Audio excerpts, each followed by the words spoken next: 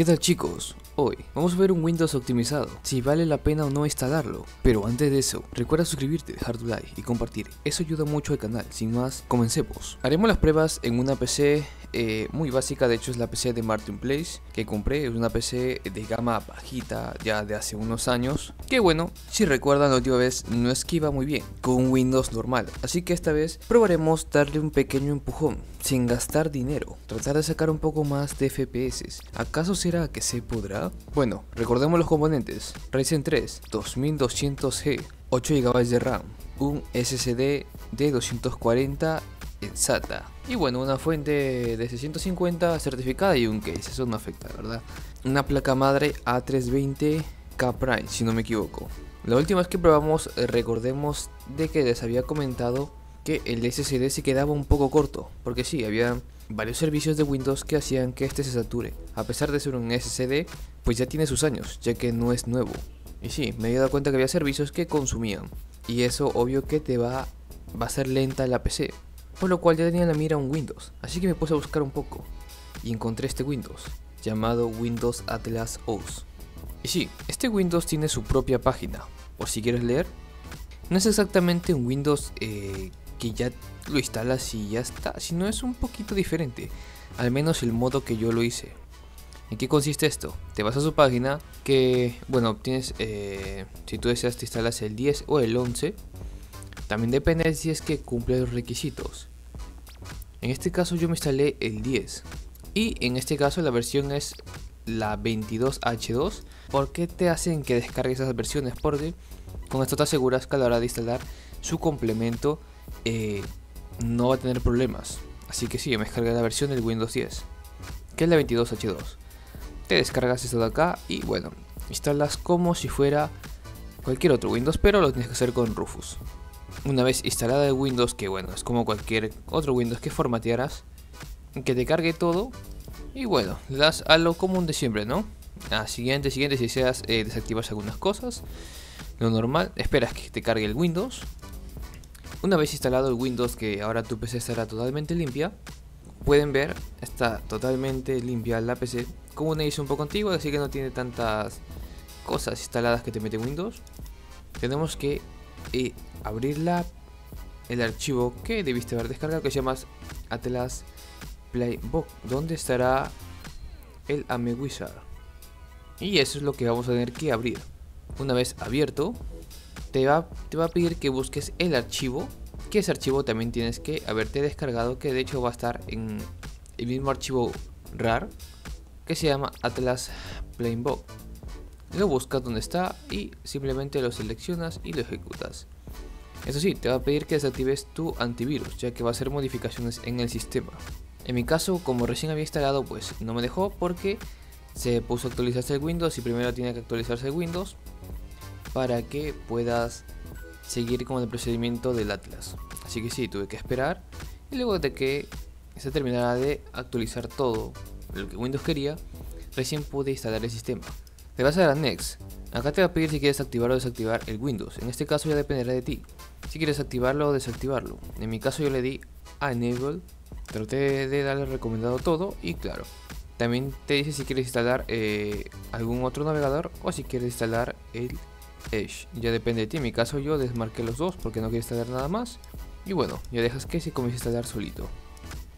Una vez instalado todo, por si deseas, en Atlas Desktop que va a estar en el disco C hay eh, más comandos por si quieres reactivar algo o algo está que te falla.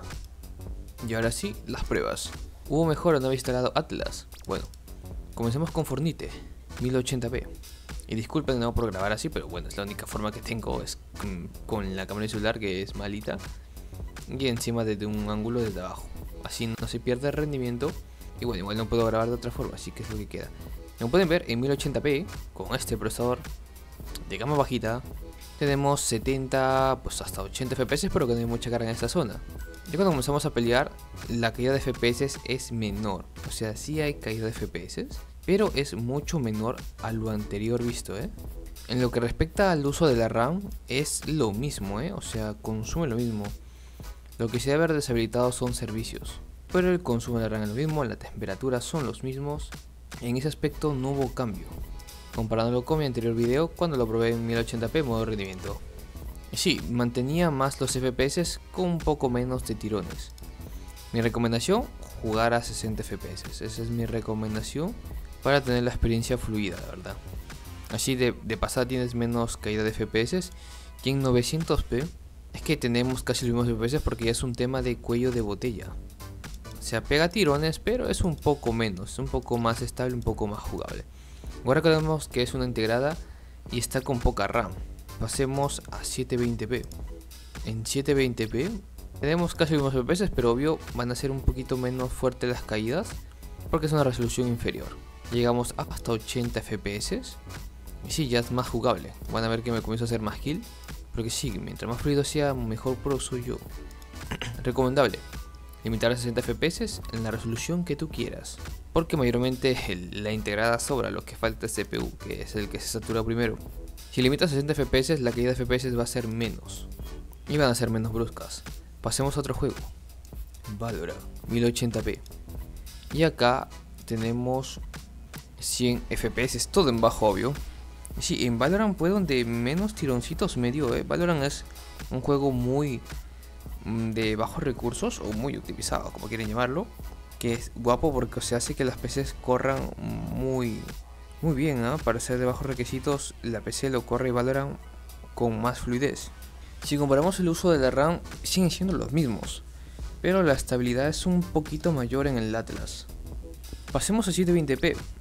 En 720p pasa lo mismo, pero acá sí tenemos menos FPS, lo cual es un poco raro. Pero también decir que ya no estamos en un deathmatch, sino en, un, en una partida normal, lo cual ya hay efectos, sí. Porque no es lo mismo testearlo en un deathmatch que en una partida normal. En este caso en la partida normal, bueno, superamos los 100 FPS, pero teníamos que ir de 50.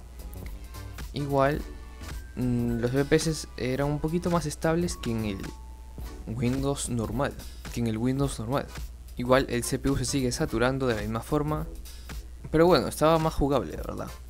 Y probé un juego más, de hecho una emulación, que fue el Dragon Ball Z Budokai Tenkaichi, que para mi sorpresa lo pudo correr. Pensé que no lo iba a poder correr con gráficos integrados, pero lo puede correr, ¿ah? y acá eh, graciosamente eh, sobra CPU, o sea, sí, solo dice 40% para ejecutar a 100 FPS, eso sí, está en una resolución baja, es una resolución casi como si fuera 640 x 480.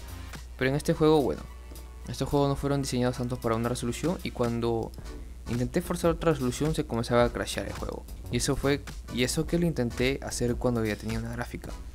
Así que sí, acá se buguea a veces cuando le cambia la resolución. Por eso lo dejé así. Los bordes negros se pueden quitar. De hecho lo quité, pero bueno, esa parte no no lo grabé.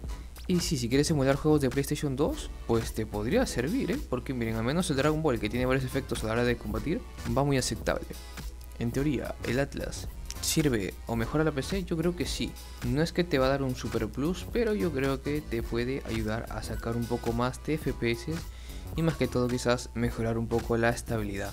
En mi caso, eh, en mis años anteriores recuerdo haber tenido Windows optimizados quizás mm, con optimización un poco más fuerte. La ventaja del Atlas creo que no te, no te quita tanta cosa, porque sí, cuando te instalas un Windows optimizado pierdes servicios de Windows que quizás si quieres utilizar, no sé, para tareas o para otras cosas, ya no puedas utilizar esos programas porque eh, no van a ser simplemente compatibles. En este caso, por ejemplo, instalé el Microsoft, Office y daba normal, daba normal, así que sí, al menos para tareas me va a seguir sirviendo y quizás si me instalaba otro Windows eh, más optimizado, ya, ya no iba a poder instalar esos tipos de programas. Así que sí, yo te recomendaría que te instales el Atlas si quieres un poco más de FPS. Ahora la seguridad y todo ese tema, recuerden que, bueno, este no es completamente una ISO. Eh, una ISO, pero igual está modificado en cierto caso el Windows, ¿no? Así que ya dependerá de qué persona si quiere correr el riesgo de instalarse el Atlas o no.